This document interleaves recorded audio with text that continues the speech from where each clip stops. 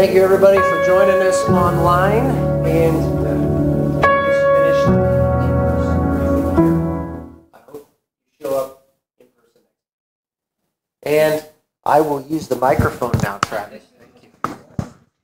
Father, we just thank you. We give you all the praise and glory and honor. And Lord, we, we ask right now that you would open our hearts, knock off the the, the places where we think we know things, but they really aren't so because they aren't from you. We ask you just remove those things from our lives right now. And Lord, we ask too that you would steel our hearts. Help us understand what it means to set our faces like flint right now in this time. And Lord, we thank you that your holy fire is surrounding us and you are the glory in our midst. In Jesus' name, amen. Okay, so we're going to talk about some controversial things here. Not really, but some people think they're controversial. We're going to talk about the overview of Revelation. We established post millennial, historic post millennial. Um, we established historic premillennial and talked about the difference between those two belief systems. And here at On Fire Ministries, we are premillennial historic folks. Okay? Now,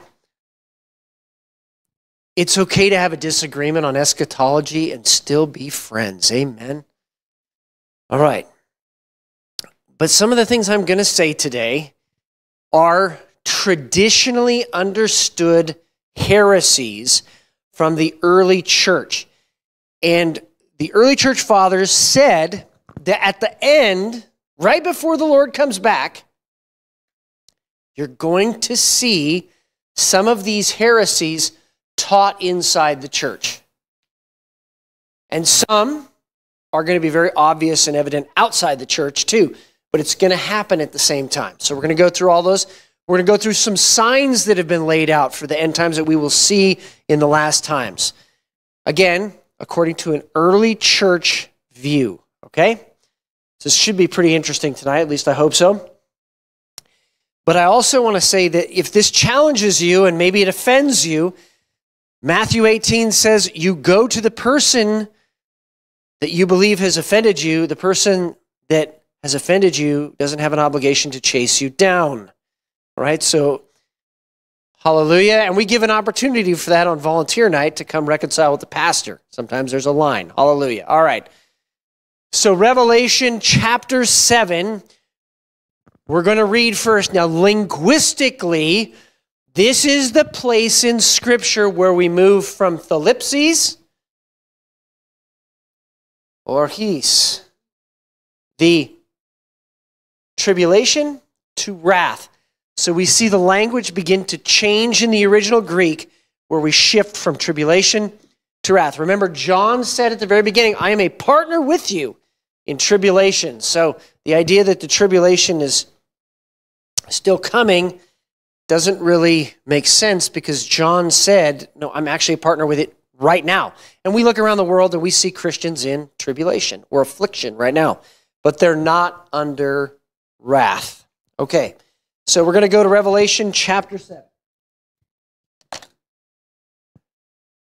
After this, I saw four angels. After what? Does anybody remember last week? What did we talk about last week? Seals were broken. What are the seals on? Okay, what were the seals on? On the scroll. What's in the scroll, Demi?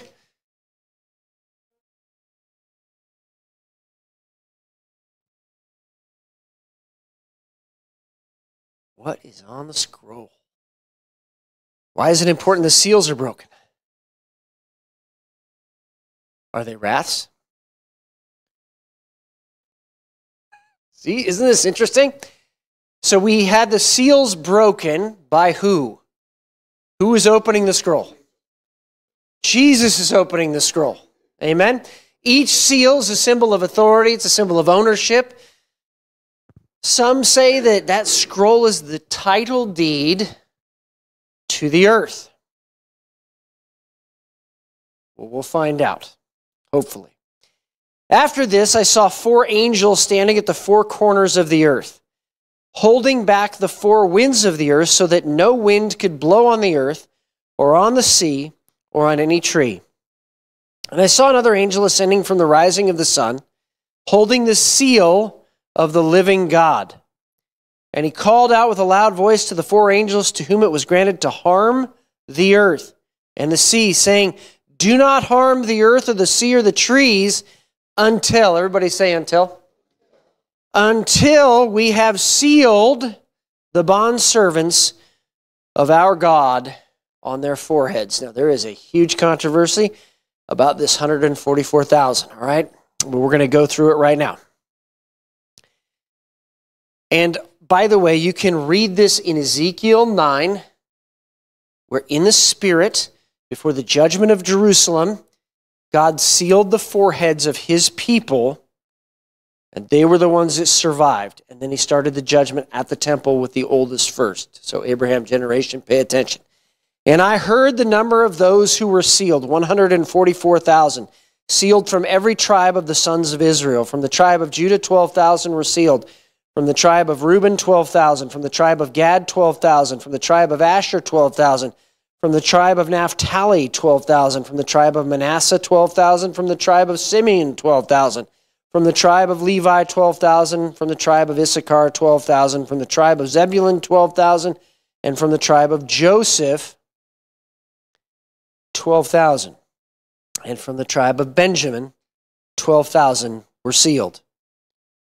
After these things, I looked, and behold, a great multitude which no one could count from every nation and all the tribes, peoples, and languages standing before the throne and before the Lamb. I'm going to stop there for a second. Does that limit it to Pentecostals? Does that limit it to Russians? No. How about Venezuelans? Nope. So it's everybody. All right? So, again, when you hear somebody say, well, if you're not part of our church, then you're not saved, you can point them to this verse. All right, hallelujah. Next. Clothed in white robes. Everybody say white robes. Oh, and palm branches were in their hands. And they cried out with a loud voice, saying, Salvation belongs to our God who sits on the throne and to the Lamb. And all the angels were standing around the throne and around the elders and the four living creatures, and they fell on their faces before the throne and worshiped God, saying, Amen. Blessing, glory, wisdom, thanksgiving, honor, power, and might belong to our God forever and ever. Amen. If you don't know what to sing or what to worship, you can always turn here. Hallelujah. Then one of the elders responded, saying to me, these who are clothed in the white robes, who are they? And where have they come from? I said to him, My Lord, you know. And he said to me, These are the ones who came out of the great tribulation. They have washed their robes and made them white in the blood of the Lamb. For this reason, they are before the throne of God, and they serve him day and night in his temple. And he who sits on the throne will spread his tabernacle over them. Hmm.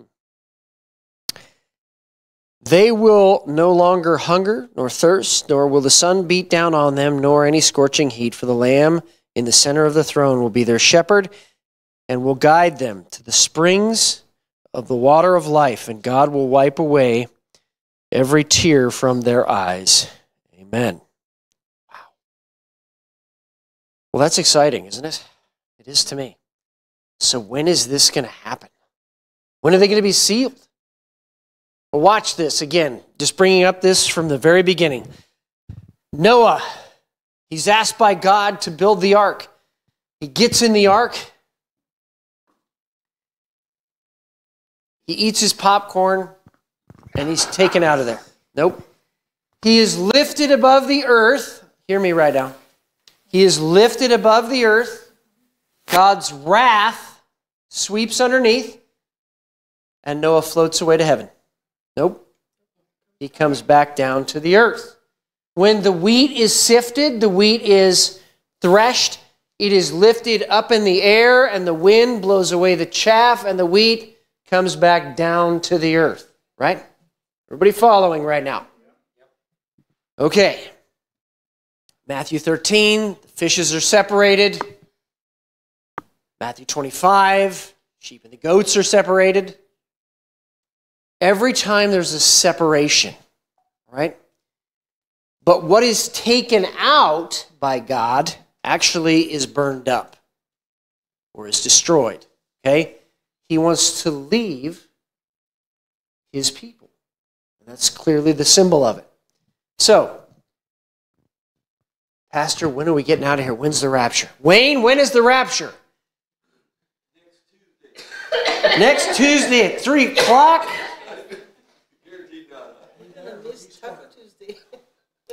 So, God said we would know the season, but not the day or the hour, right?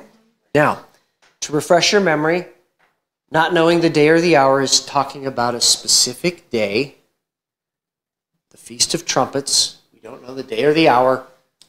We have to have two witnesses to say this is the day. Everybody remember that, right? So, this idea that we're not going to know exactly when, I don't think is supported by Scripture, and here's why. When Jesus was born, he's brought into the temple and he's eight days old. There's people waiting for him. A man, and I love this, oh, so awesome, busts up religious spirits. A man and a woman witnessed that the Christ had been born, right? But they were waiting for him. They were waiting, they were expectant. She was ministering in the temple day and night. One guy was just waiting to die until he saw Jesus, right?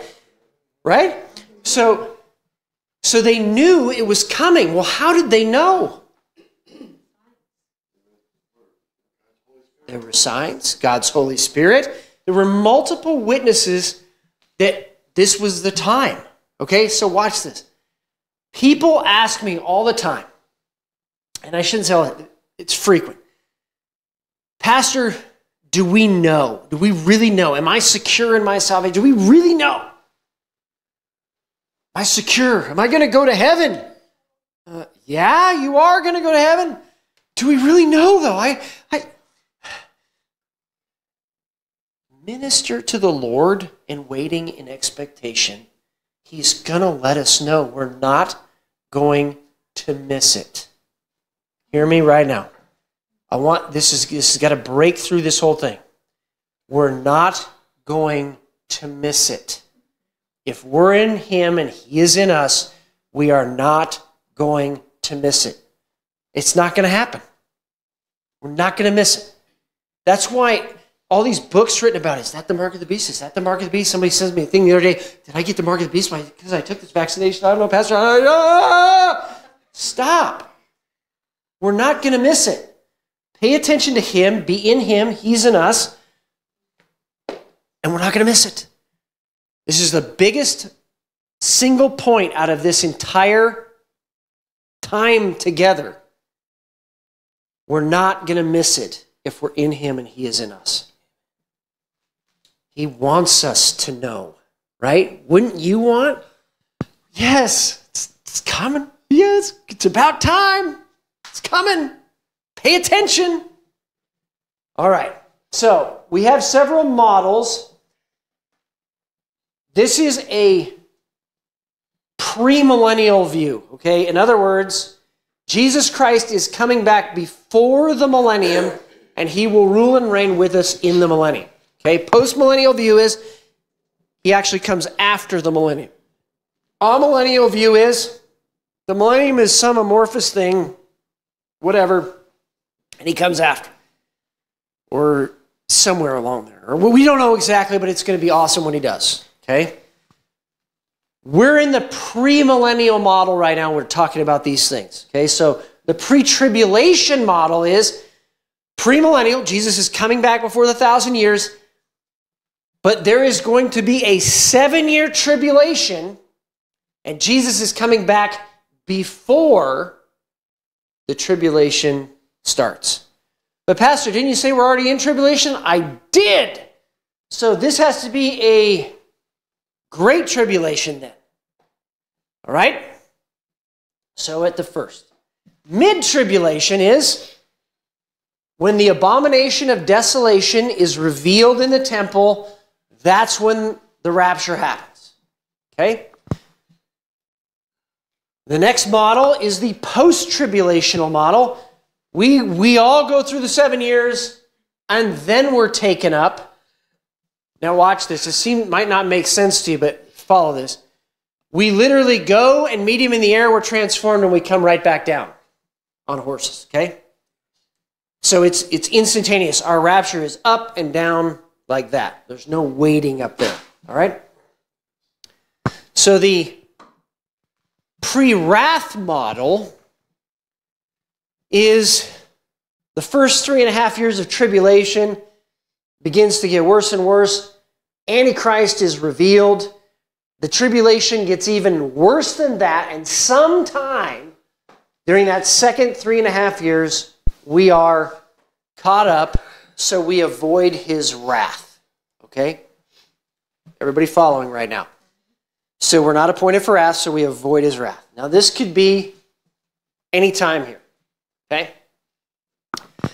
So theologically, this is what the pre wrath model looks like false Christ, wars, famines, Antichrist is revealed, abomination of desolation, celestial disturbances, martyrdom happens with the saints, the great tribulation happens, and then at some time, we are resurrected, we are taken up, and then the seven trumpet wrath begins. God's wrath is poured out on the earth, and then we come back down. The this is Armageddon. We come back down. There's a sheep and goat judgment, and then we rule a thousand years with Jesus. Okay. All right. Wow. I have so many questions, Pastor. Well, somewhere between the sixth and the seventh seal is the rapture. Okay. So, remember last week, 1900 years, the white horse was taught to be Jesus, okay? 1900 years. Taught by Irenaeus, who was the disciple of Polycarp, who was the direct disciple of John, who wrote it. Okay? Does it make sense? All right? 1900, 1900 years it was taught, right? I showed you how to look at it differently and I calculated the math out, all right, in present day value for silver, for a denarius, and showed you that, hey, well, that looks more like it's a protection thing. Yes, some things were going to get, get skewed, but the wine, the blood, the bread, the body, and the oil, the Holy Spirit, were all going to be protected during that time. Okay? Everybody follow this. All right? And we also talked about the fact that the horses in Zechariah were from the Lord. And they were headed toward the enemy in the north, at least most of them. All right. Let me make this very simple then. We're not appointed for wrath. Are there going to be storms coming? Are we going to be shaken? Are we going to know things are getting a little bit closer? I mean, don't you feel it? I mean, Israel and all, you know, I mean, my goodness. But God's going to let us know. We have the 2,000 year timeline that the Jews talked about, early church fathers talked about. I like the pre wrath model for this simple reason. We're going to be taken up before the wrath. I don't know when that is, but it's going to happen. Okay? And we will be taken up before the wrath. God's wrath will sweep underneath, and we will come back down to the earth to rule and reign with Him. It's about, it's about as simple as I can make that. Amen? Amen. All right. Now, there's all of this argument back and forth about the bowls, well, those are also wrath. So you got trumpet wrath, you got bowl wrath. Remember what was in the bowls? Anybody remember? That's it. Our prayers, prayers of the saints. Lord, where is your justice? And it's being stored up. Isn't that interesting? It's poured out on the earth. Okay, fine. I get to right here. Well, what about the Jewish people? Are they going to have a revival? Well, Romans 11 says yes. Yeah? So if we if we start seeing revival happen in Israel, well, that's another sign something something's coming. Guess what's happening today in Israel?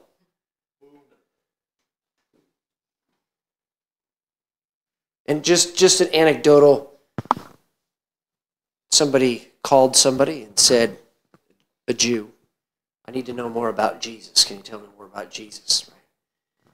I'm hearing this more and more and more that there is revival actually building steam.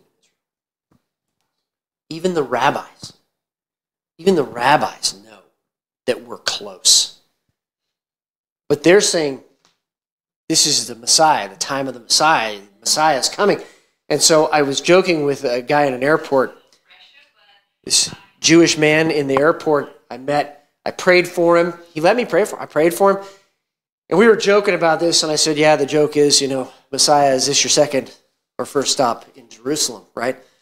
And, and he kind of laughed at that. And it's true. I mean, this is really what, but we're both going to witness that's the Messiah, which means there's got to be a counterfeit before the real comes. Now, I want you to take this principle for life. There's always a counterfeit right before the real thing comes. And I counsel our young people, there's always the counterfeit spouse.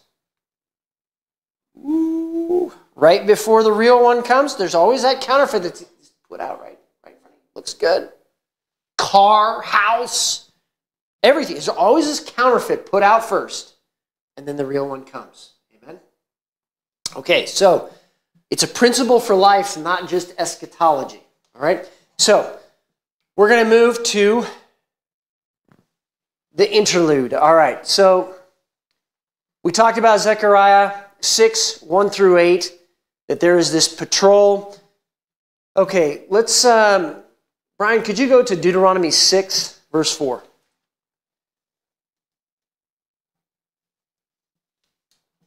Hear, Israel, the Lord is our God, the Lord is one. Keep going. Keep going. To verse 9.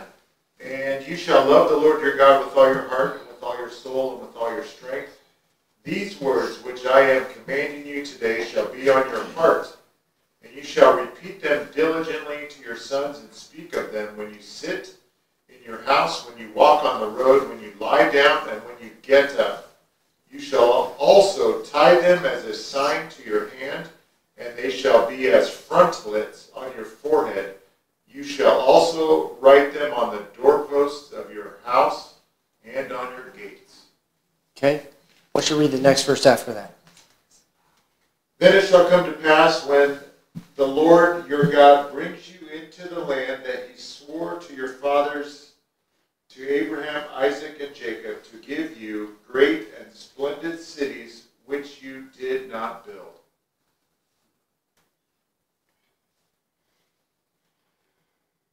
Promise of God that is sealed on our forehead. Everybody following me right now. They literally, it's called a phylactery. They put a little box that's tied around their head. They have another one that's on their hand. There's a little leather thing they, they tie, it's on their hand, right? So they, they take this literally, but it's on their forehead. It's sealed on their forehead. It's the law. But watch this. It's sealed there just before they talk about coming into the promised land and getting the fullness of the inheritance. Everybody follow me right now, okay? So let's hold that thought. Ezekiel 9, six men of judgment, one who seals from the wrath. And they start, these angels start at the temple. Once they've sealed the foreheads of everybody, they start in the temple with the oldest first that should have known better, and they execute judgment on them first in the temple. All right? Uh, Revelation 7, The seal is the Spirit. Watch this. We're supposed to worship in spirit and in truth. That's fantastic. Mark, can you go to 2 Corinthians 3 3?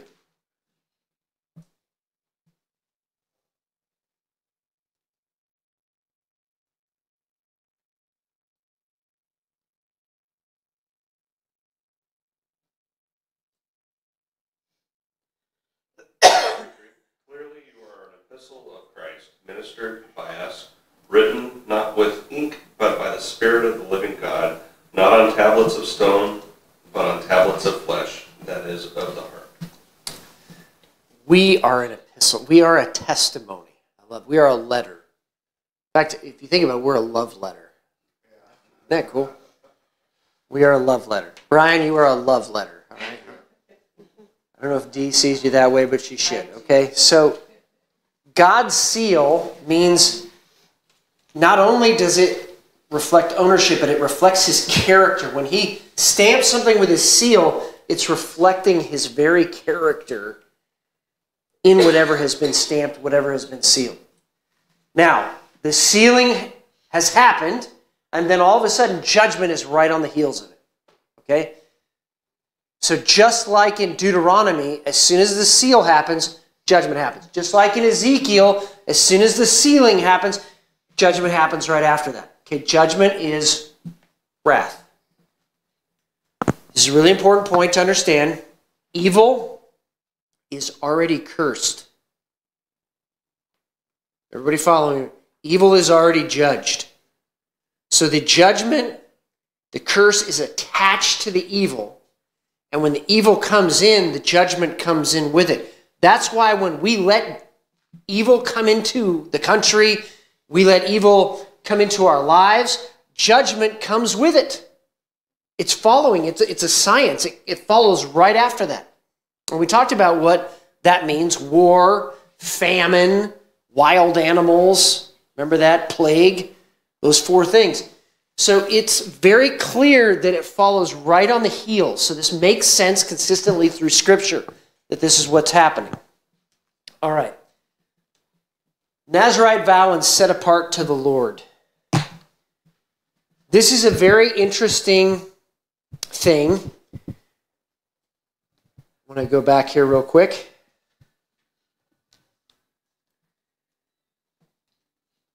Have sealed the bondservants of God on their foreheads. When he asked, Who are these people? Right? And then all these tribes are sealed. After these things, I looked and behold a great multitude which no one could count from every nation, tribe, and everybody standing in front of the throne. Now, this Nazarite vow set apart to the Lord. We're going to go to, uh, let's see, Larry, can you go to Revelation 14, verse 1? Demi, could you go to Numbers chapter 6, verse 1? The Nazarite vow was a vow that was taken to set apart, to sanctify someone. All right, go ahead. Then I looked, and there before me was the Lamb, standing on Mount Zion, and with him 144,000 who had his name and his father's name written on their foreheads. Keep going. And I heard the sound from heaven like a roar of rushing waters and like a loud peal of thunder. The sound I heard was, was like that of harpists playing their harps. Keep going. And they sang new of dry grapes. All the days of, the, of his separation, he shall not eat anything that is produced by the grapevine, from the seeds even to the skin. All the days of his vow of separation, no razor shall pass over his head. He shall be holy until the days are fulfilled for which he separated himself to the Lord. He shall let the locks of hair of his head grow long. All the days of his separation to the Lord, he shall not go near to a dead person. He shall not make himself unclean for his father or for his mother, for his brother or for his sister, when they die, when they die, because his separation to God is on his head. All the days I'm of- sorry, did you say it was where? on his head. Okay, keep going. All the days of his separation he is holy to the Lord. But if a man dies very suddenly beside him, and he defiles his dedicated head of hair Then he shall shave his head on the day when he becomes clean. He shall shave it on the seventh day. Then on the eighth day he shall bring two turtle doves or two young pigeons to the priest, to the doorway of the tent of meeting.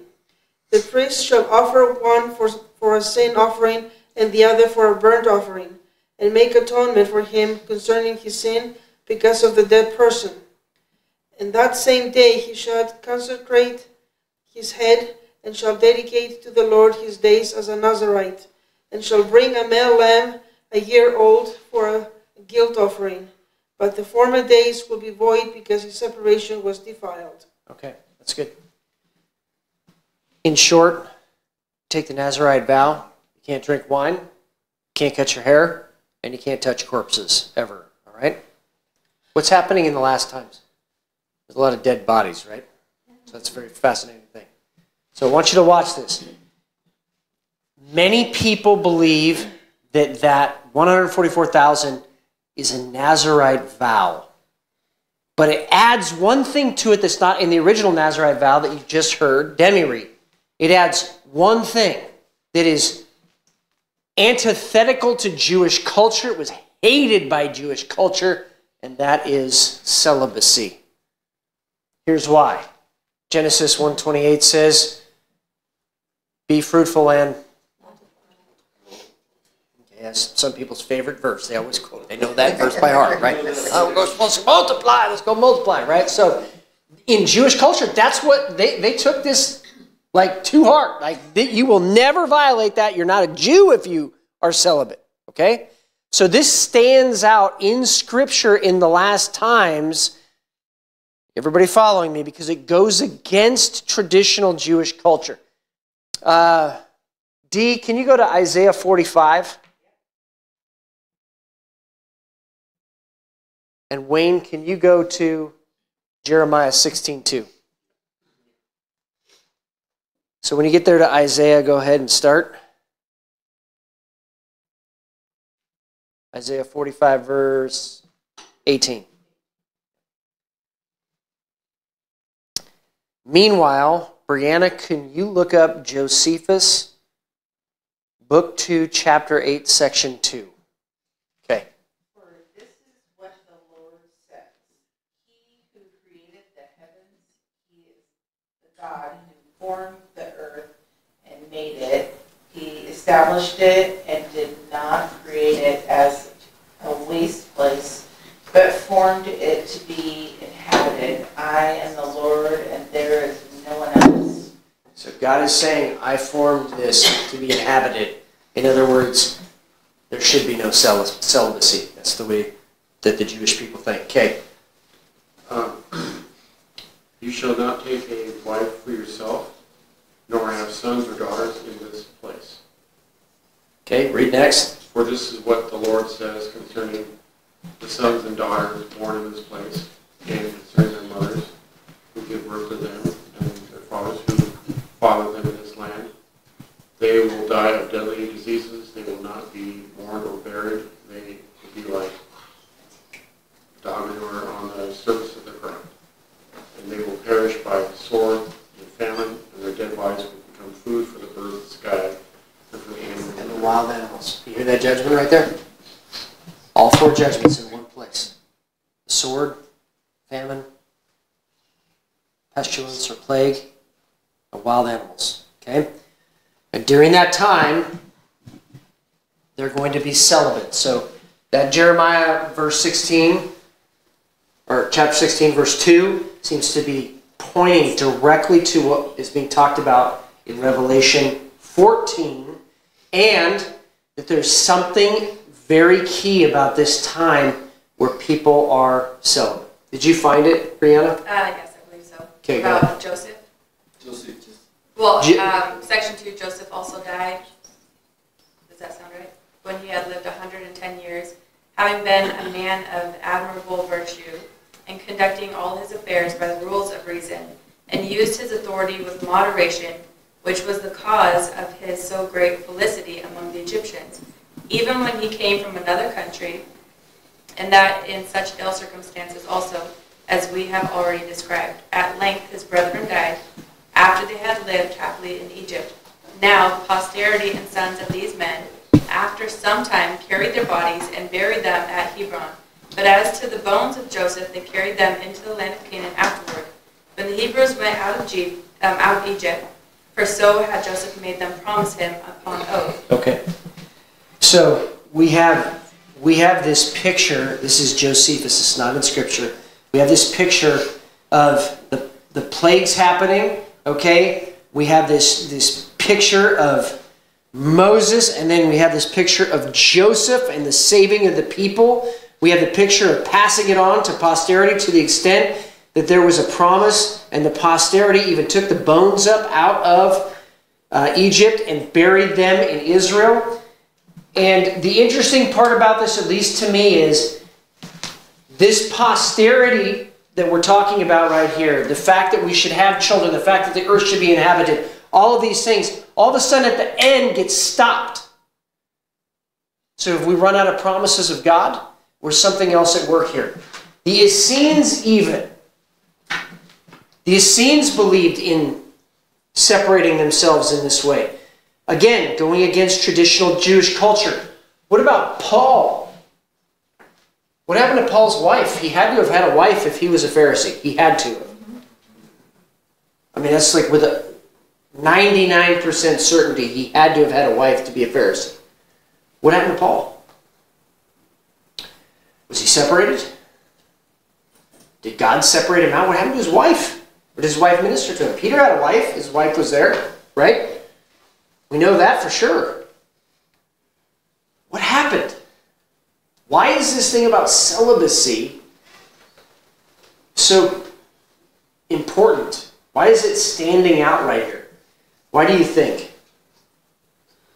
No distractions.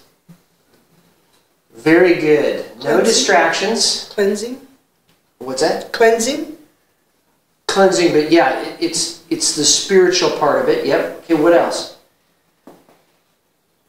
What else do you think? No children?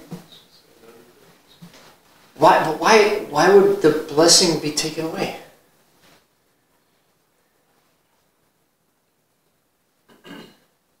Let me ask it a different way. Did Noah have kids after God told him to build the ark? Let me ask it a different way. took his kids with him, right? Took 120 years. That's a good question. So All of his kids. there's something about the time we're going to know when God when God is saying, "Well, it's not that no children are born." There's something about hold on that, right? It, there's something about it's going to happen in this time where people are going to be focused on the Lord and they're going to realize, "Hey, wait a minute. The bigger blessing is coming. That's what I'm focused on right now."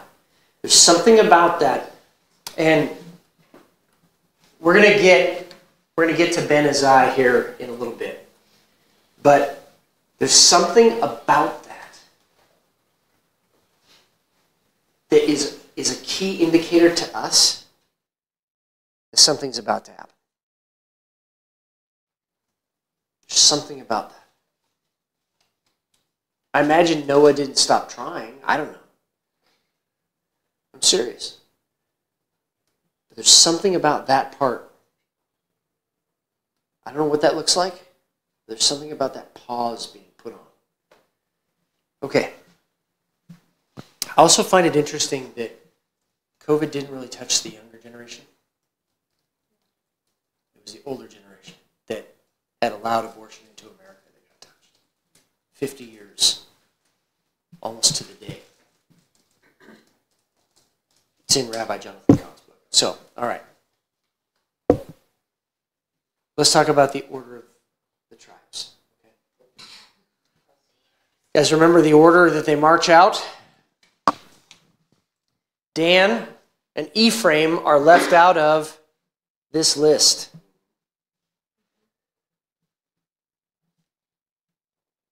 Judah and Reuben remain. Watch this.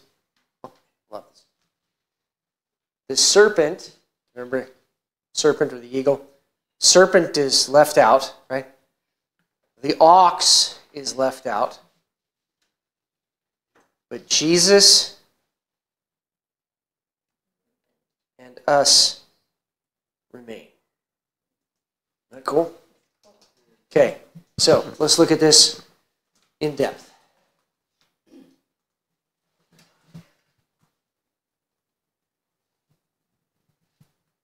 Happen.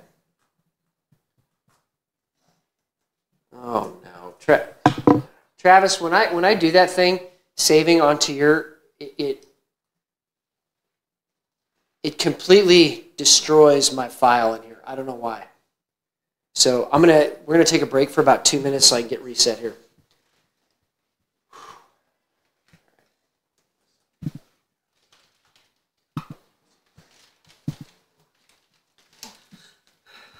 Pastor, I just read something today- today, and I can't remember where I read it at. I'll start reading it and get, run down these rabbit trails, but Dan and Ephraim were in the area where Gaza is now. They moved north to get out of battle, something like that, and they in- kind of uh, intermingled with northern tribes, north of Israel. Well, That's why God took them out of this list. They, they gave up, uh, their rightful place. Interesting. And that's where Gaza is today. Interesting.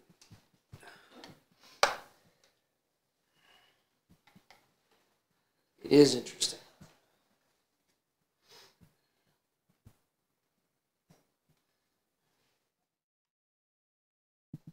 There we go.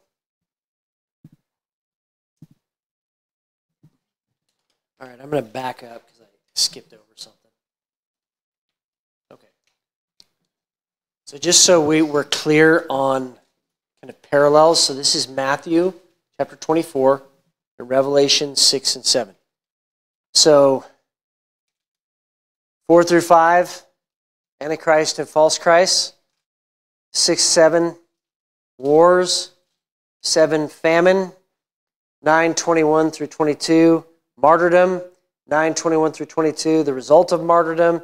And 29, verse 29, celestial disturbances. 30 through 31, raptured saints.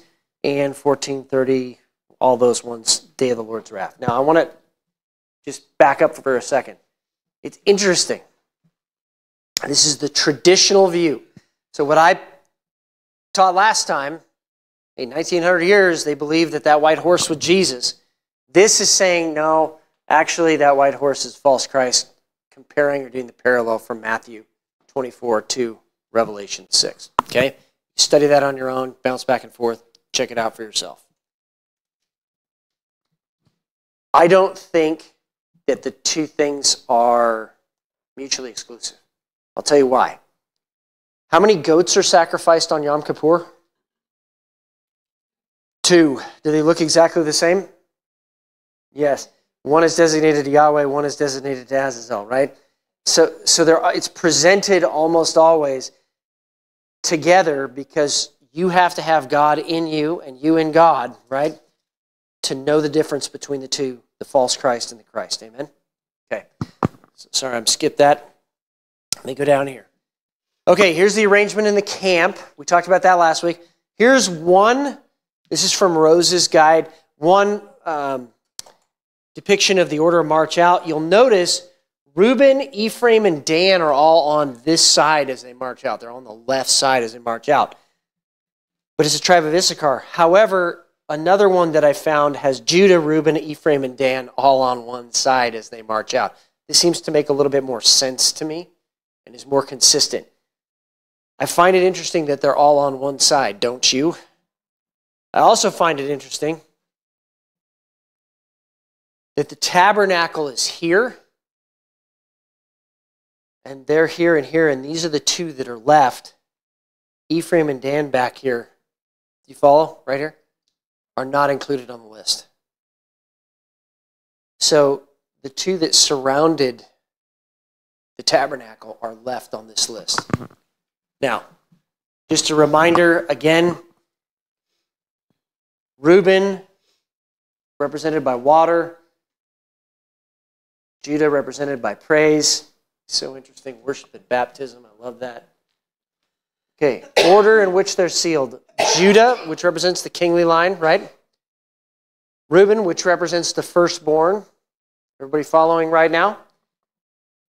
Okay. Gad, who represents the warriors. Asher, who represents the tree of life. Dan is not there. Naphtali, who represents the struggle. Manasseh, who represents, well, Joseph, I guess, increase and provision. Simeon, which represents hearing and the opening of the gate. Levi, which represents uh, the priesthood, but also that we are connected with the Lord. Issachar, which represents the reward. Zebulun, which represents the dwelling with God.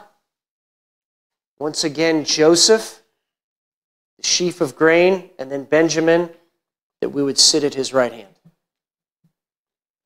Now, if I put that together in a sentence, and I'm going to have to do that someday, that's a pretty cool picture of that sealing that happens with the tribes. All right. Once again, here are the symbols just to show you. I really find this interesting that you have really three of the four horses depicted as symbols for Dan. All right.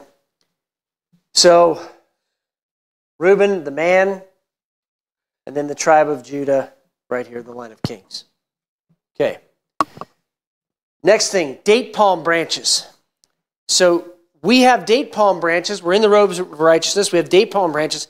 And what we don't get is that part of the ceremony during the Feast of Tabernacles, they would come in the east gate. Now, which gate did Jesus go out? The east gate, right? He walked toward, just finished Passover, sang hymns, and he walked toward the Mount of Olives, which was a prophetic act of pointing toward the Holy Spirit, right? Because olives, olive oil, Holy Spirit. He walks out the east gate. Well, what they would do is they would have the priest come in the east gate, and they would have these gigantic palm branches, and they would wave them. They were so big, they would wave them. It would create the sound of a rushing wind, which is the Holy Spirit. Okay?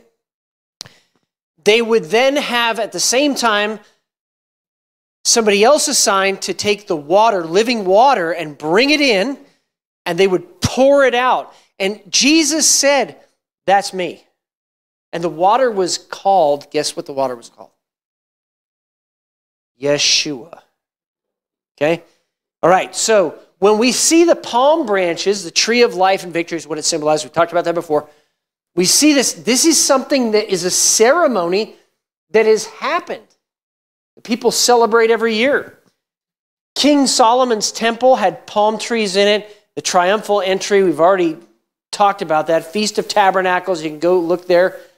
And in the ancient times, goodness, well being, grandeur, steadfastness, and victory, Grecian victors would return to their homes waving palm branches. In other words, like the, the ticker tape parades when the soldiers came back from World War II, it was palm branches. That's what they would do as they came back, okay? Vespasian, when, he, when they were conquering the Jews in AD 70 and 71, there's literally a coin, and they were mocking the Jews by showing the palm tree, but the Romans had conquered them. Yeah, so much for your victory, right? It was like in your face. Okay. All right. Tribulation. Okay? Persecution, affliction, and distress. Which is large in the widest sense. Skino. Which is dwell with. So, Jesus will dwell with his people. Zoes, okay? Living, physical, and spiritual, present and future. Shepherd, guide, tend, uh, govern, and feed and defend. All right, so let me talk about this. This right here, these are words that are translated in Revelation that throw a lot of people off. This is, again, translated as what? Tribulation. Megalis sometimes is translated as great tribulation. All right? I'm going to just kind of camp here for a second. When we see this shift to Orgies in Revelation, we know that we're coming into the time of God's wrath. All right. Expectant, not imminent. Everybody say expectant, not imminent. Expected, not imminent. Okay. Whoever wants to go to Second Thessalonians chapter 2 verse 1.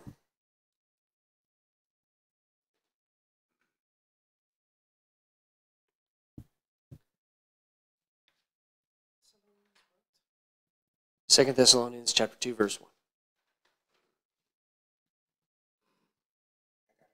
Concerning the coming of Lord Jesus Christ and our being gathered to him, we ask you, brothers and sisters, not to become unsettled or alarmed by the teaching allegedly from us, whether by prophecy or by a word of mouth or by letter, asserting that day of the Lord has already come. Okay, stop right there. Asserting that the day of the Lord has already come.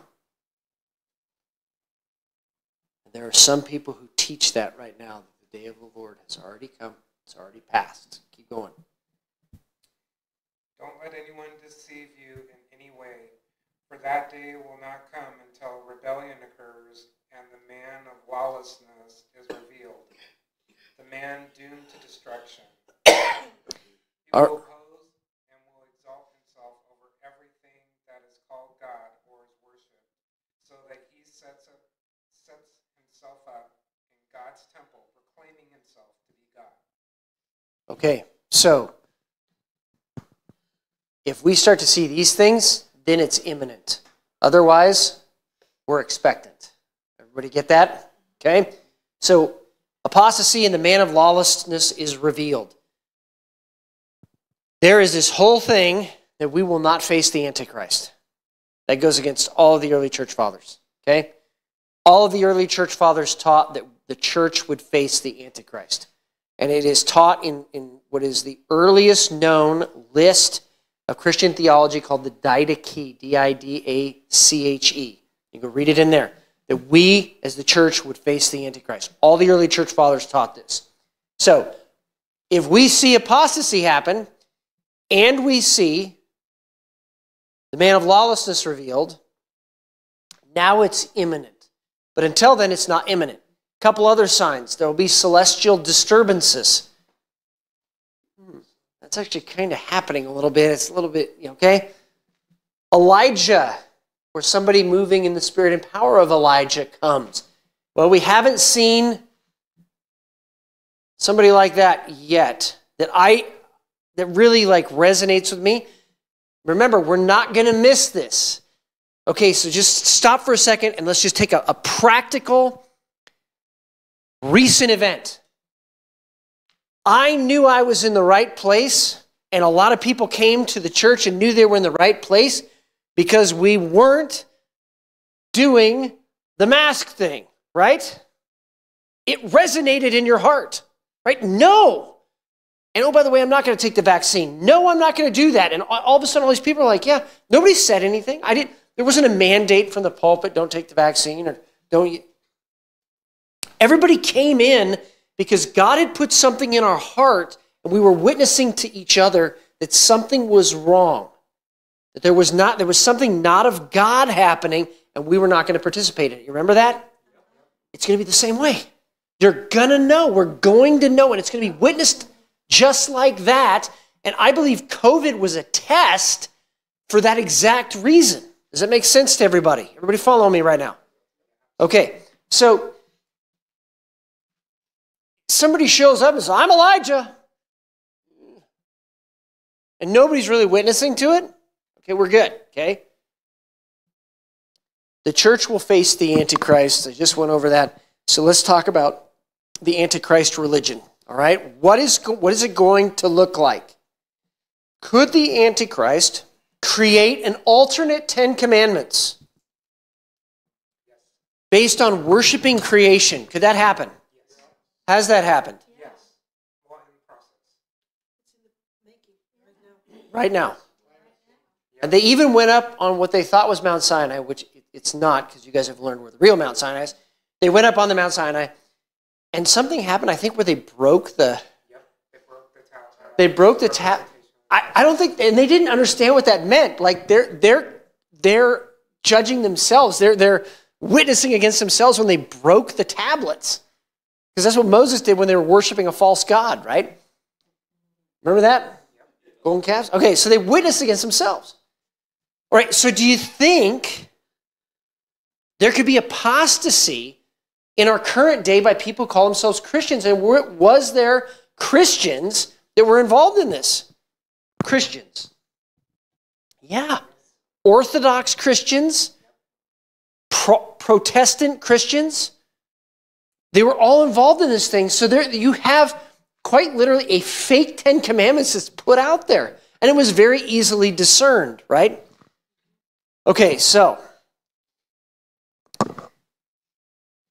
this okay, this is what the early church fathers understood as the Antichrist religion. Okay? It's called the doctrine of emanations. This is a Gnostic doctrine. They believed, the Gnostics did, that every human being had a little sliver of God inside of them, like a physical sliver of God inside them. Okay? And because they had that physical sliver of God inside them, they could never be lost. In other words, they would be once saved, always saved. That's where it came from. Okay? That is a Gnostic heresy.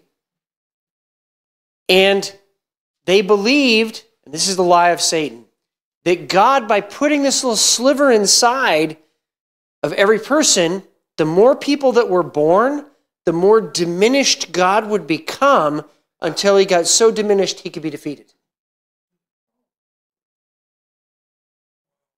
This is making a little bit of sense now. I'm just talking theology right now. Okay? So Satan believed that God was diminishing himself to such an extent that he could eventually be overcome and defeated. Except that God can't be diminished, right?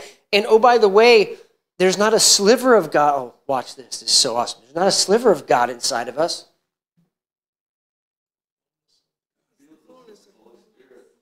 It's the fullness. Whew.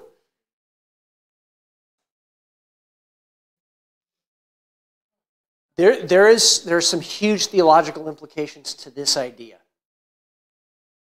This is behind so much stuff. A lot of witchcraft is based in this stuff. There, there's just so much that, that comes out of this. So let me focus on just kind of one part of it, okay? There's also a doctrine where predestination, there are certain people only that can be saved because they are predestined to be saved, and the rest are lost. This is also where that comes from. Is that Calvinism? Yes, it's Calvinism. Calvinism is based on a Gnostic heresy. That is a historic fact. I don't want to get into it today, but it is. John Calvin had to figure out a way to get around the Pope excommunicating people that disagreed with him. Okay? And the way to get around it is to say, well, the Pope can't excommunicate me if I'm once saved, always saved. And that's the short version of it. And he made that argument. Okay? That's way oversimplification, but that's it in a nutshell. All right? So, Antichrist won't worship or regard Jesus Christ or others. What's there left to worship then? And yourself and somebody somebody say creation right now. Come on, somebody. Okay? Well, now and I actually ran into this on a Thanksgiving. I ruined Thanksgiving one year. Brand new Christian. Somebody said, What is. Anyway, somebody said, What is sin? I know. And I ruined Thanksgiving. Okay, so. Short version is the person looked at me and said, I am a God. I was like, it was a family member. I'm praying for you now for sure, right? Okay, but it's the, it's the natural outflow of what we just talked about, right? Antichrist will worship the God of forces. What is the God of forces? It's the energy in each one of the emanations and leftover energy from what was once God.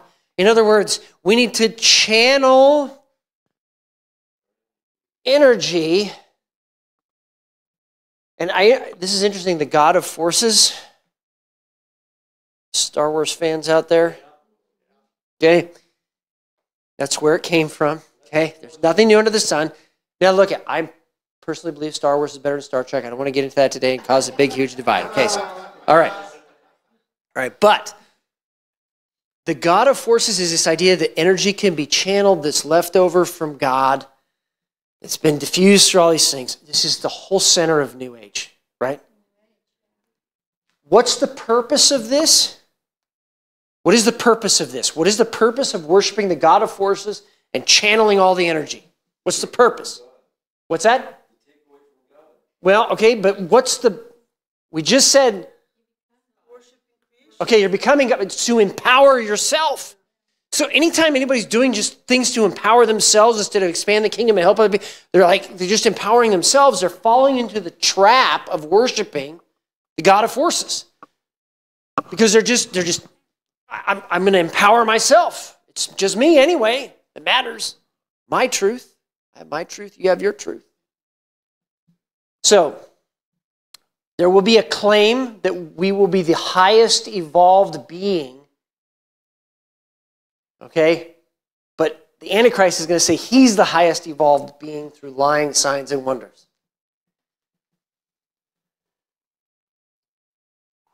Is that happening today? People trying to do that?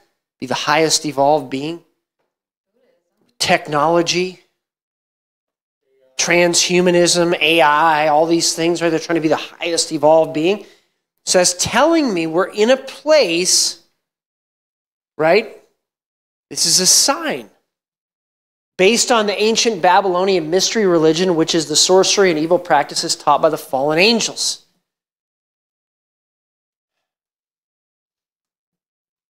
Twenty years ago, when I was a kid, I'm just joking.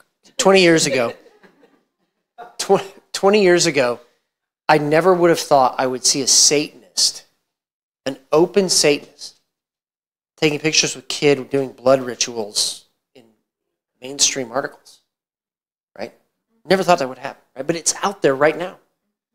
It's out there right now. Satanism is being glorified, and, and virtually every Super Bowl halftime show is that. Okay? Right? So these are signs that something is wrong. So let's talk about apostasy. Here's some of the early church fathers.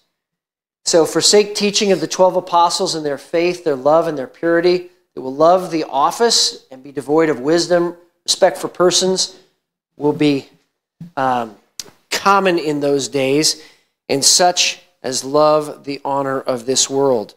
There will be much slandering, and the Holy Spirit will depart from many. Great jealousy will prevail in the last days. So let me ask a couple questions. Are there a lot of people, even inside the church, who are worried about their reputation in the world? Yes, there are. Okay? Are there people that are slandering a lot of other Christians? Yes, there are. Is the Holy Spirit departed from part of the church? Didn't they just have like a cessationist conference or something like that? Okay, so we're seeing this happen. Then there will be overturnings of, of the churches everywhere. Did that happen? Yes, okay. The scriptures will be despised, and everywhere they will sing the songs of the. And is that not Nashville? Fornications and adulteries and perjuries will fill the land. And remember, this is written in AD 210, okay? I'm not shoehorning it in.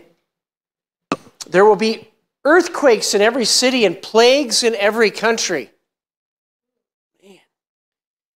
Storms of winds will disturb both sea and land excessively. Winters. Oh, okay. Now, Satan's a counterfeit, right? So if he's saying global warming, winters of excessive severity, unlooked for conflagrations, but for forest fires, Yes. Okay, watch this. Now, just again,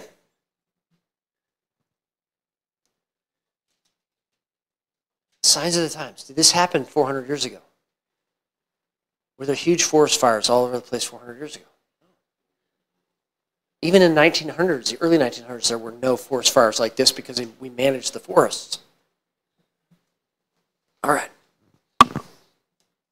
Second Esdras, not canon. This is not canon, but this is just, again, a list in there that is very interesting that gives some certain signs. Now, if a prophecy is correct, we should pay attention to it, right? And the prophecies in Second Esdras so far have been correct, right? All right, so inhabitants of the world taken in great number. I don't know what that means. Could it be death? Could it be rapture? I, I don't know what that means. Way of the truth hidden, has that happened? Land will be barren of faith. Well, not totally barren, but it's clearly some stuff that's happening. Iniquity worse than the time of the writing and pre flood world. It's getting close to that, isn't it? Okay? Now, to be fair, in Roman times, in Greco Roman times, they had very rampant pederasty. Gymnos, the word we get gym from, they would, that's what they would do there, okay? Just leave it at that. So there, there was stuff happening then too. There was temple prostitution and all those kind of things were happening then too. But on the scale that it's happening today, no. Persia will be laid waste. I want you to Write that one down. I want you to write that one down, put a little star next to it, okay? All right. The sun shining at night and the moon by day. That is an odd statement. I don't know what that means. Blood will drip from the wood. That's happening right now, beheadings. Stones will cry out. Nations will be troubled. Air will be changed. That's only in some manuscripts. The one whom many do not set their hopes on will rule. That's the Antichrist. Birds will migrate. Oh, that should, sorry. Dead Sea will produce fish and a sound at night. There's something interesting happening with the Dead Sea now. I showed you where it's blooming on the outside of it. Okay? There's, flowers now coming, and that's a fulfillment of a prophecy in Scripture. So this is actually called out specifically. Confusion will abound, fire will rain down. Is that nuclear war? Desert beasts will migrate from their places. Unrighteousness and the lack of self control will multiply. That's happening. This is a very disturbing. What does that mean? Okay, we're going to go back to pre flood world. Okay. Nephilim. Okay. Could that be genetic modification? I don't know. But second Esdras again was taught, was commented on by the early church fathers. Salt water will be found in fresh. Is that happening in the Mississippi River right now? Somebody say yes. Okay, way up the Mississippi River right now. Friends will wage war with friends. That's happening. Men will hop or hope, excuse me, but not obtain. Labor, but not prosper. How many of you feel like you're laboring but not prospering? All right, wisdom hides itself and understanding withdraws to its secret chamber. I find that a fascinating thing that wisdom and, and understanding is withdrawing to a secret chamber, in other words, secret place almost, is what that seems to say. All right, let's do some other ones. Okay, so remember, that is not, sorry, that is not canon. Okay? Let me go to, okay, now, chapter 6 one year old children will speak. Premature babies at three to four months will live. This was written in 200 AD, at least the earliest version we have, it could be even earlier than that that was written. Premature babies at three to four years old or three to four months old will live. That's interesting. That, that technology did not exist until recently. Sown fields will suddenly be found unsown. Full storehouses will suddenly be found empty. Trumpet will sound, scaring everyone who hears it. Friends will wage war with friends. Springs will stand still for three hours. Place standing shook, and men will, men taken up will return, and millennial reign. This is actually part of it. Earthquakes, uproar of nations, those caught up, kept safe from peril. Wow. Yeah. Have you seen on uh, uh, videos of trumpets blowing that were obviously not human? I've heard those videos. I have heard them. I, has anybody else heard those things? It's pretty well. Okay, so. Okay, Third Corinthians, not canon. Third Corinthians was included in the Armenian canon. Third Corinthians, uh, there were six Latin manuscripts. There's a Coptic manuscript. There's a Greek manuscript called the Bodmer Papyri. Okay, here's the. We test everything against Scripture. There is nothing in here that goes against Scripture. But one of the very fascinating things that is in here is the teachings of the evil one being embraced in the church as a sign of the second coming of Christ is imminent. Okay? 3 Corinthians chapter 1 also has a list of heresies that will be taught in the last times. That's why I pulled it out. The Lord was not born of Mary. Who teaches that?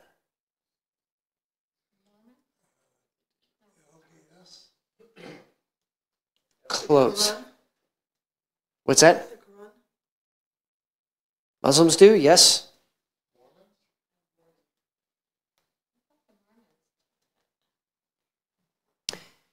Okay, so Jehovah Witnesses believe that Christ was an apparition or a phantom. Okay, Jesus was not of the line of David. We must study, or we must not study the Old Testament prophets. I'm gonna, I'm gonna warn you guys right now. I have heard this inside charismatic circles, and we actually ceased a relationship with somebody because they were teaching that. Okay? God is not almighty. There is no resurrection of the flesh, only of the spirit. Creation is not God's work. In other words, it is the work of evolution, which some churches accept. Okay? The Lord did not come in the flesh. I'm going to be really careful here. Kenosis is the name of this. God is 100% God and 100% man when he came down here. Did he restrict himself, empty himself of himself? Yes, he did. But he was 100 and is 100% God and 100% man, okay, when he came here. Amen? So, this also is a Gnostic doctrine. The world was created by angels not by God. Now we're getting into uh, LDS type of thing that is Jesus really the brother of the enemy. I just just weird stuff like that. Okay, Jesus was not crucified, but someone who looked like Jesus was crucified. This is Islam. Okay? And Ebionite and Cerinthus Gnosticism, Jesus was just a man. And then the Holy Spirit came on him, and then it came off him. He was just a man, not God. Okay?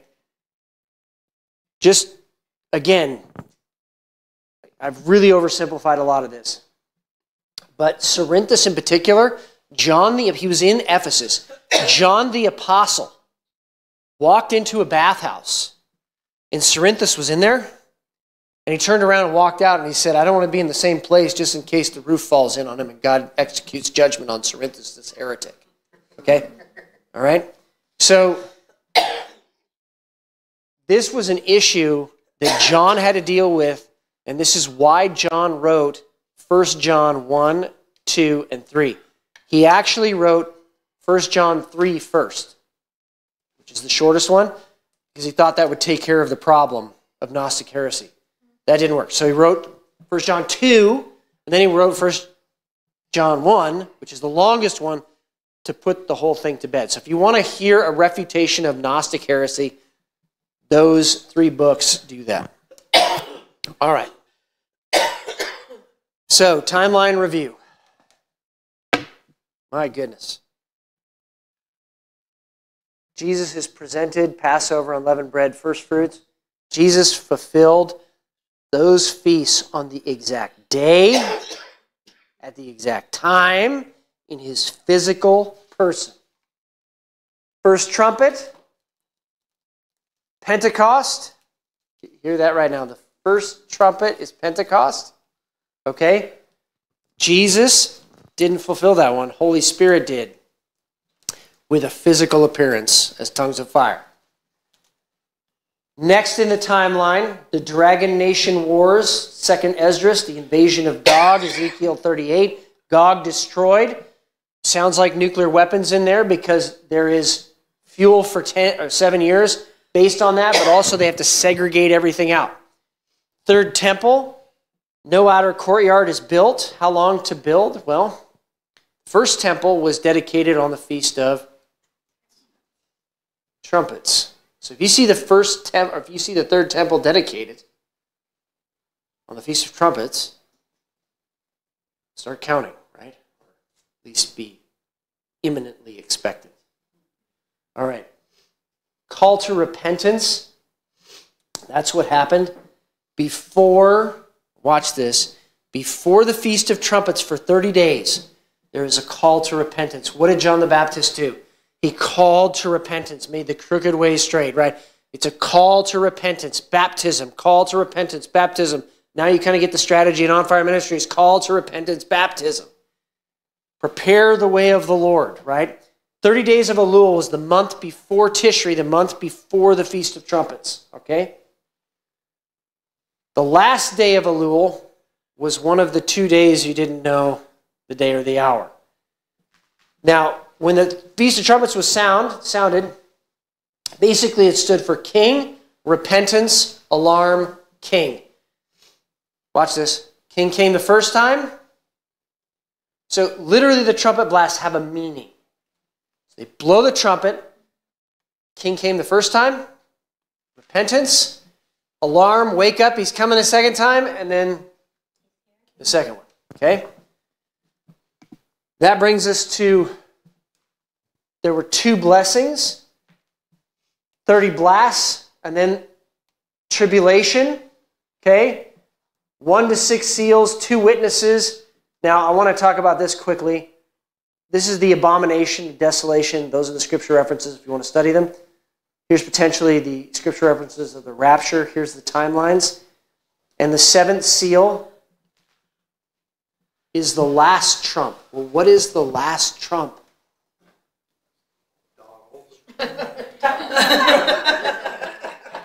God has a sense of humor, doesn't he?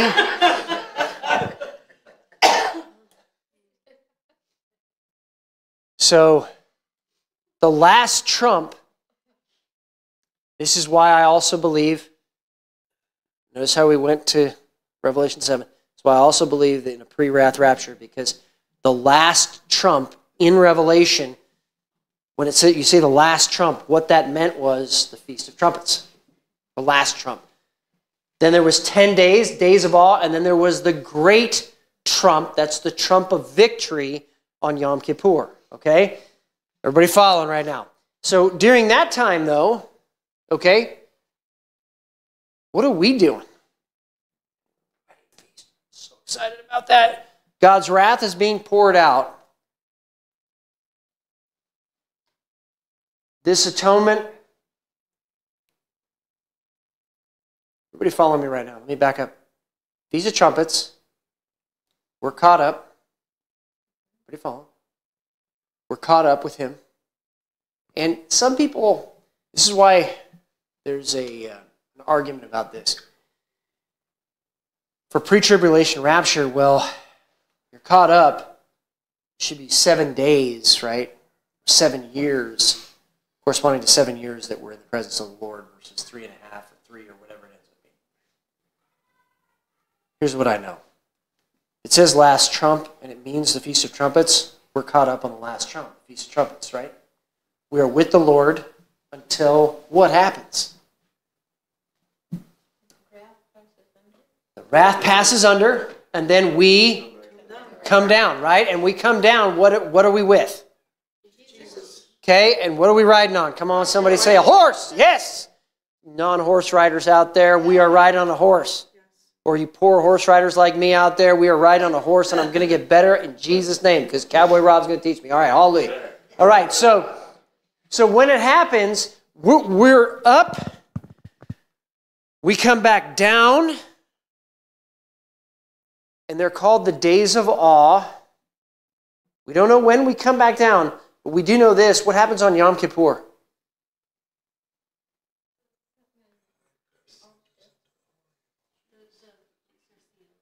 What happens on Yom Kippur?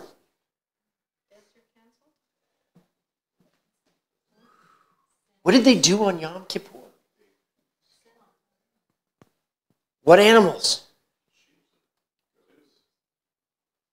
Two goats, remember? Ah!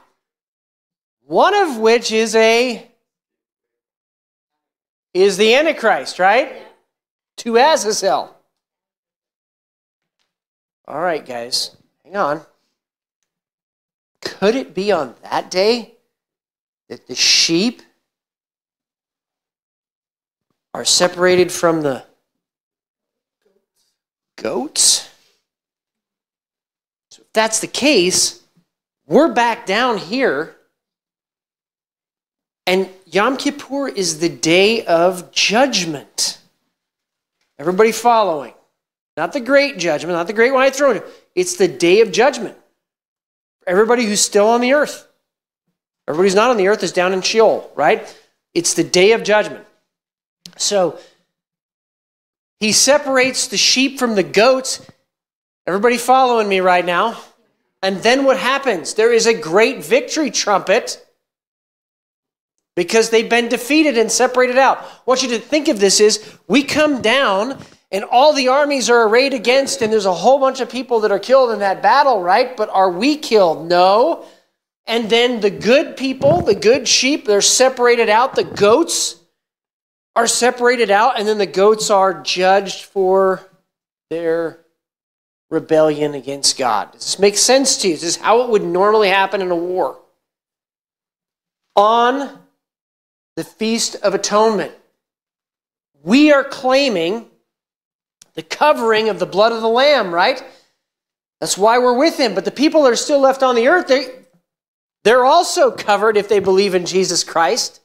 And the judgment will pass over them and be executed on the wicked. Everybody following me right now?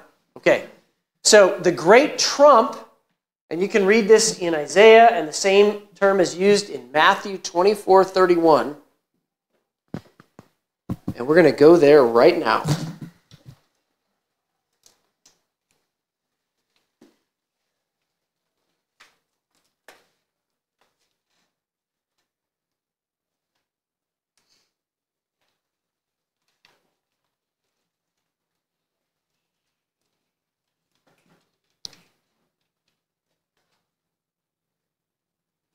And he will send forth his angels with a great trumpet blast, and they will gather together his elect from the four winds, from one end of the sky to the other. Watch this, though. Back up to verse 29. But immediately after the tribulation of those days, the sun will be darkened, and the moon will not give its light, and the stars will fall from the sky, and the powers of heaven will be shaken, and the sign of the Son of Man will appear in the sky. And then all the tribes of the earth will mourn, and they will see the Son of Man coming on the clouds of the sky with power and great glory. And he will send forth his angels with a great trumpet blast, and they will gather together his elect from the four winds, from one end of the sky to the other. Wait a minute. After the tribulation, everybody following right now? Who's he gathering?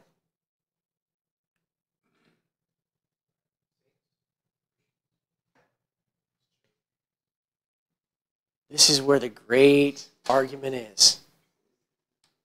If Jesus is coming back, who's with him? So who's he gathering?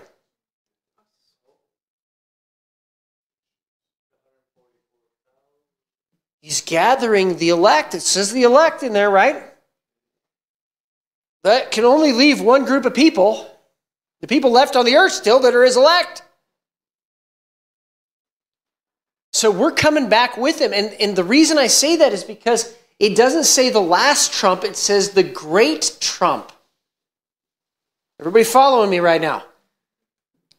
So at the great trump, the sheep are gathered together, the goats are separated out, and judgment is executed. Does that make sense now? Okay, the next verse, I love this stuff. The next verse says, Now learn from the parable of the fig tree. What do figs symbolize? Nations, Nations, right? The fruit of nations. You hear that right now? The fruit of nations. So now it's being judged as nations. And what does it say? The sheep and the goats are separated out? And it's implying there are sheep nations and goat nations. Everybody makes, okay, fantastic. Click, clank. All right? And he, he gives you the idea of this timing. Now, learn the parable from the fig tree. As soon as its branches become tender and it sprouts leaves, you know that summer is near. So, too, when you see these things, recognize that he is near right at the door. Truly, I say to you, this generation will not pass away until these things take place. Heaven and earth will not pass away. My words will not pass away. I'm sorry, heaven and earth will pass away, but my words will not pass away. But about that day and hour, no one knows. Oh, man. There's two things being said there. If you understand Jewish history, now he's talking about the Feast of Trumpets. And he's talking about the Feast of Atonement at the end, and the symbol of that at the end. So, the Bema Seat judgment, we've talked about that before. You can read those references there. But this is why I, I, wanted to bring this up to you. This is the order in which it happens. Do we know the exact year? No, we don't know the exact year, but this is the order in which things happen, and the order in which things happens matters. Okay, so there are going to be people left on this earth who are not going to be glorified because they gave their lives to Jesus after the rapture and they actually endured his wrath. Okay? All right. If that's the case, then those people have to be given a choice to choose Jesus or not, right? Some of them will choose Jesus then, some of them will not. But all of them are judged. All of them are separated out, right? When they have children, because they're still on the earth, and if Jesus is ruling and reigning on the earth, are people going to live longer? I would think so. I think that's a really, if the healer himself is on the earth, ruling and reigning, I think that that's a good theological rock to stand on, okay? So if that's the case and they live longer, their children have to have a choice to choose Jesus or not, right? And if that's the case, then Satan has to be loosed at the end of the thousand years so that they have a choice to choose Jesus or not. And then everything is consummated and done. Does that make sense? So that's the end. That's the story. And then the last day of the Feast of Tabernacles, Shimini Esrei were with him in eternity, the day of eternity. It's all symbolized through that. So Jesus tabernacles with us on the earth, and then at the end, there's the day of eternity. All right, we're going to do one more today. Let's go to Revelation 8. If you guys are up for it. If you're not,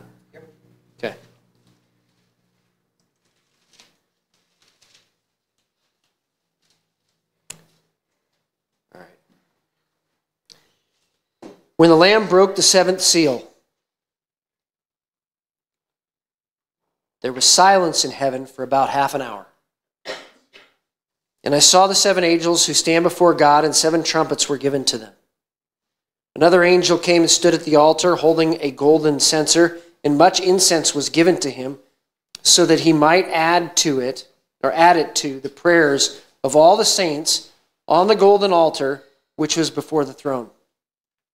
And the smoke of the incense ascended from the angel's hand with the prayers of the saints before God. Then the angel took the censer and filled it with the fire of the altar and hurled it to the earth. And there were peals of thunder and flashes and lightning and an earthquake. This very clearly looks like when the wrath starts. Okay? And then, or so, and the seven angels who had the seven trumpets prepared themselves to sound them. The first sounded, and there was hail and fire mixed with blood, and it was hurled to the earth, and a third of the earth was burned up, and a third of the trees were burned up, and all of the green grass was burned up. The second angel sounded, and something like a great mountain burning with fire was hurled into the sea, and a third of the sea became blood, and a third of the creatures which were in the sea and had life died, and a third of the ships were destroyed. The third angel sounded, and a great star fell from heaven, burning like a torch, and it fell on a third of the rivers and on the springs of water. The star is named Wormwood. And a third of the waters became wormwood, and many people died from the waters because they were made bitter. The fourth angel sounded, and a third of the sun, a third of the moon, and a third of the stars were struck, so that a third of them would be darkened, and the day would not shine for a third of it, and the night in the same way. Then I looked and heard an eagle flying in mid heaven, saying with a loud voice, Woe, woe, woe to those who live on the earth because of the remaining blast of the trumpet of the three angels who are about to sound. Now, before this, the only action of God is to break seals. This is direct action. Now, some of these things I love this. He comes in his people before he comes for his people. The persecution, the affliction, tribulation is ended. Now wrath, passion, judgment, and vengeance is poured out. First trumpet, hail and fire mixed with blood, great burning mountain, great burning star, sun, moon, and stars struck. Some people say this is symbolic of the fallen. All right?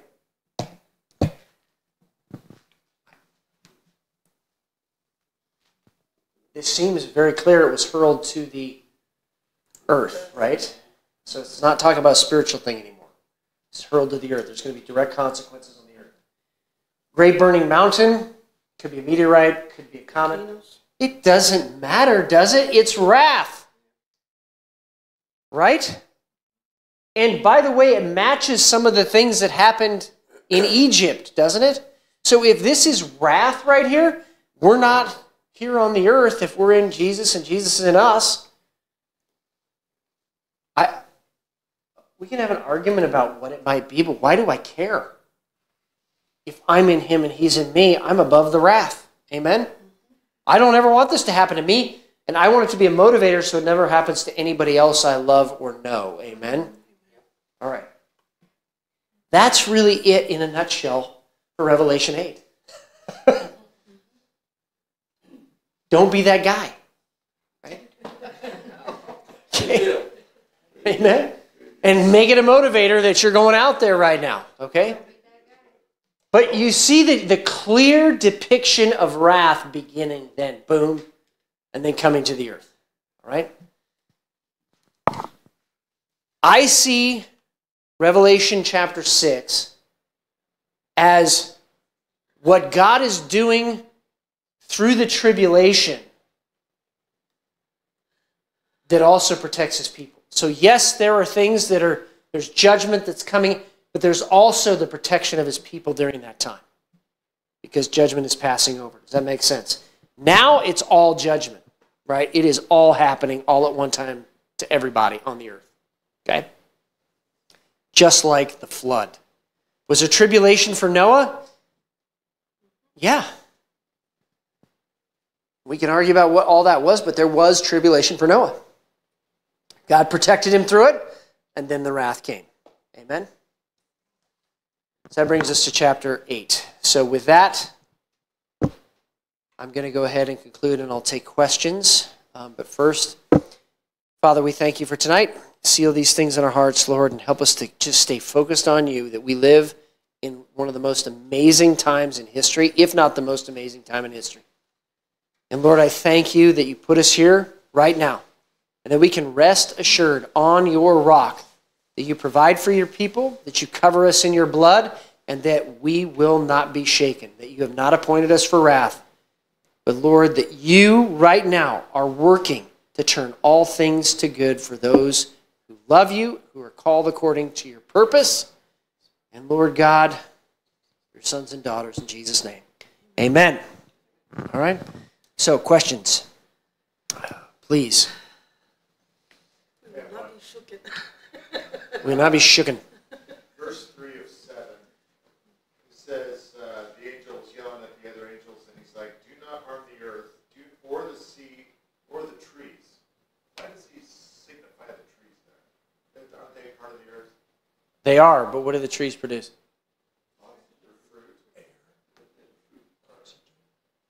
Yeah, and they breathe CO2, so that means climate change is. All right.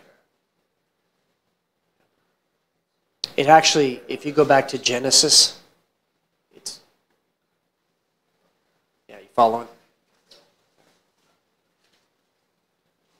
All right, what, that's good. What up? What else? You know that Matthew twenty-four you're talking about, Yeah, the great tribulation ends. And what did you say was the timeline? I didn't quite get all. so the Great Tribulation ends, uh-huh. and then it sounds like wrath after that, but then it says that we come back. You, you follow me right now, Wayne? Okay. So there's a there's a last trump, which is the Feast of Trumpets. We're caught up.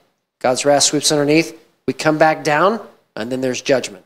That's about as simple as I can make it. But I mean, we come back, I mean, we're caught up after the great tribulation ends, or during it, or before it, or?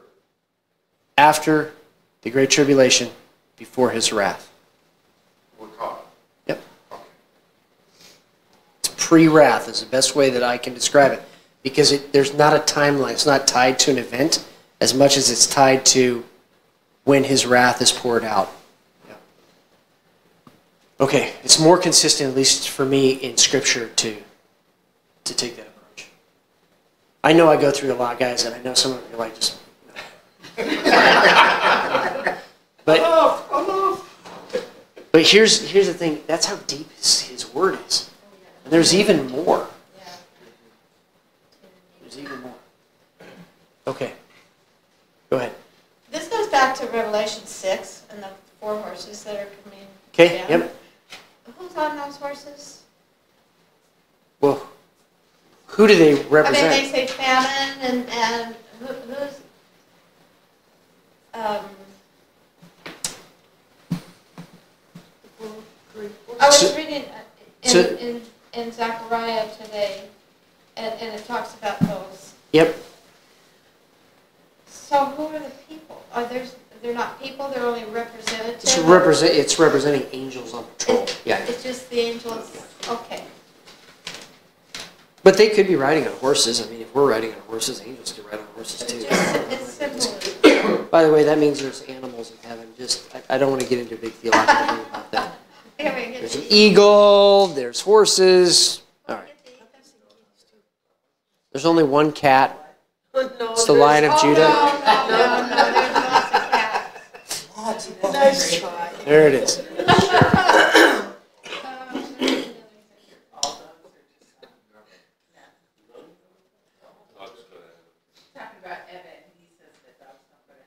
Yeah, it's just it's just not okay. So watch this. All right, where does New Jerusalem come down to? From. Okay, so God wants to redeem His entire creation. So the Edenic vision was that there would be dogs and cats, right? And in we would be here in our glorified bodies, right? Because that's where Adam was. God wants to restore us back to that. There have to be animals there because Adam named them.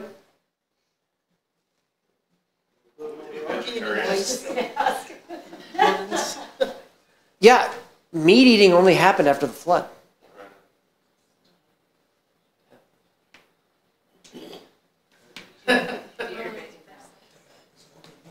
Now, there is one animal. Now, this is, this is the homework extra credit assignment. There was one animal. One animal that is eaten at the wedding feast, according to Jewish tradition. I've already taught on it. One creature that is eaten at the wedding feast. Close. It's close. So it's the. Who, who said Leviathan? Leviathan. Yep.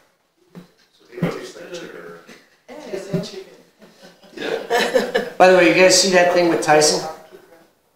You didn't see that, did? Yeah. Oh, yeah. So Tyson bought Protix, which is this oh, gigantic insect farm, Oh, Oh, yeah, to, to investigate insect protein, right? I'm telling you right now, there have been there there was a rebellion over whiskey at the start of the country. In the 1990s, they tried to tax beer. There was a huge outcry against that. I can't imagine if they tried to take people's steaks and hamburgers. Man, I Americans might actually wake totally up. You know? Wow. All right. Any other questions? So after the big wrath, after the wrath, after that last part, when, when God is hailing down all that stuff, will there be people still being able to be saved? Yeah. Well, there's people that are still surviving. Yeah. So they're still surviving. Yeah. So that's what we will be doing with Jesus? We're not here. Oh, no, we're, We're with him. yeah, we're with him. When he comes back to reign and rule, we're coming with them. We're coming coming with with him to gather. Yep. Yeah? Well, We're coming with him to gather the elect from, well, the angels are going to gather. Where We're will we coming put to them? rule and reign Where do we put the people we gather? in cities. Okay. There's going to still be nations afterwards. See, the Lord of the Rings, the elves are supposed to represent the immortals living with the mortals, which is Revelation. And, uh, The early church fathers taught all this, that there would be mortals living with immortals. Okay, I got you. That's it. Very simply, anyway. Okay. I mean, I, did, I mean, he's coming back. We're going to rule and reign with him. Depending on how, how well we've used our talents, is how well or how many cities we've we're given to rule over, or what areas we're given to rule over. I don't know if you guys. All right, I, I'm going to totally digress. Do you guys know the difference between Jägermeister and Burgermeister? Yeah. Huh. You know what it means in German? Yes. It tastes like that. Some of you don't go back to that pre-Christian time, okay, with the Jägermeister. All right, it actually has a German has a German meaning. Jägermeister was the forest master. Burgermeister was the city master. I don't know if it's going to be a similar breakdown in God's kingdom, but there you go. Okay. Okay. All right. What other questions do you have? You have a question. Go ahead. No? Mark? No. All right. There was so much information.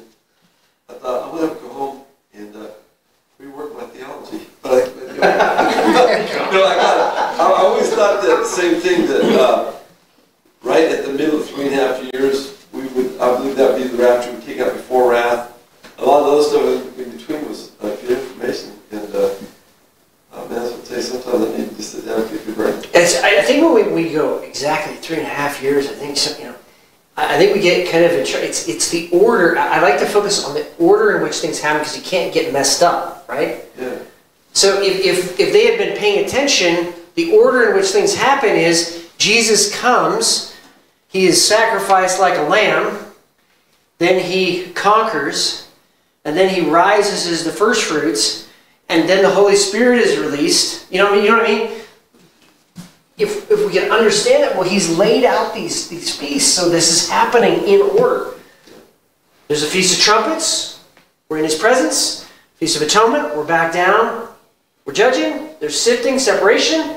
Jesus then tabernacles with us on the earth, and then at the end of the thousand years, there's the day of eternity. Yeah. I mean, it just makes sense to me. And we're not appointed for his wrath. And every single time, he took his people out of wrath. In, in Ezekiel 9 in Jerusalem, he uses the image of wheat being sifted with Noah and the flood. Every single time his people are, are saved, Egypt, the judgment passes over and then they're delivered out. Every single time. Didn't mean that it wasn't a storm. Didn't mean there wasn't a gigantic army behind them, okay? But he always delivered them out. And I love it because Noah, he used the mechanism of the wrath to also deliver his people. So he walks up to the sea, Moses does, and he walks through the sea, and the sea, Yeah. yeah, follow? It's really interesting. And when the Babylonians came in and destroyed Jerusalem, it was through the Babylonians that the Isra- Israelites were actually saved, ultimately. And God actually spoke to the Babylonians. You know, that's interesting too. They were a, a pagan nation, but God spoke to other people besides Jews. It holds true through history. The Holocaust, Nazis in Germany, it was through that that Israel became a nation. I mean, each time you kind of see this. It's beautiful. Yeah. So if you have a mechanism in your life by which, okay, enemy is trying to really come at you, that very likely is the mechanism by which God wants to deliver you. That's very profound for whoever needs to hear that. Okay? Like I was trapped in. Trapped at the end, right? Trapped. Enemy had me in a corner. But it was through that that I could walk into the calling God had for me. Amen? I think it just holds true for all of our lives. All right. Any other questions?